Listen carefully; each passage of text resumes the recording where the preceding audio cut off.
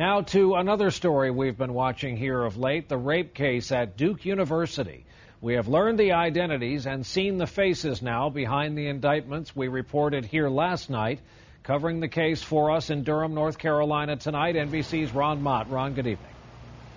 Brian, good evening to you. Investigators say both players were identified by the accuser by their photographs, but defense attorneys say they'll be able to prove their clients are innocent. You guys have anything to say? In handcuffs, the two Duke lacrosse players were led into jail around 5 this morning. Indictments unsealed today spell out the details of first degree rape, sexual offense, and kidnapping charges faced by 20 year olds Collin Finnerty and Reade Seligmann. While neither player was required to show up for today's initial court hearing, Finnerty did anyway. Defense attorneys say they can prove both players were gone by the time of the alleged assault through ATM receipts, fast food receipts, evidence of a cab ride, and card swipes at a dorm. It's hard to put in words the, the unfairness and the injustice of this indictment. And We look forward to um, showing that he is absolutely innocent as soon as we can.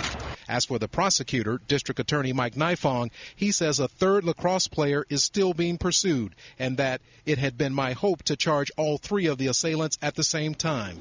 But legal experts say the prosecution may still hold an advantage. When it's a group event, uh, there are more potential witnesses. There are people who the state can flip over to their side uh, in return for promises for, uh, of leniency.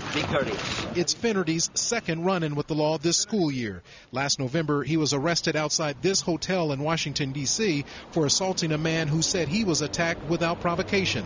Finnerty agreed to perform community service in Durham, reaction at Duke and North Carolina Central University, where the 27 year old accuser is a student, was mixed.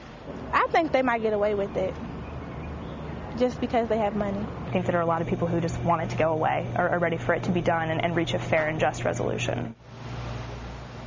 Both players are free tonight after each posted $400,000 bail. They're due back here in court middle of next month, Brian. Ron, thanks for the update. Ron Mott again for us tonight in Durham, North Carolina.